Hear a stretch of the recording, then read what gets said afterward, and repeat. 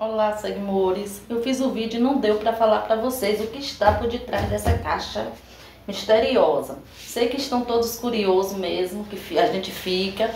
Então, isso aqui é agradecimento a Deus e a vocês. E falar para vocês, meus amores, que eu não sou de estar tá gastando dinheiro à toa, porque cada centavo que eu pego, eu sei valorizar, colocando as coisas para manter minha casa, ajudando os meus filhos e assim por diante. Dinheiro gasto à toa aqui? Nananina não. Aqui é investido mesmo.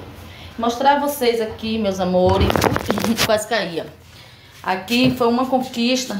Agradecimento a vocês. Aqui é meu gabinete da cozinha. Aqui é minha pia maravilhosa. Obrigada a vocês.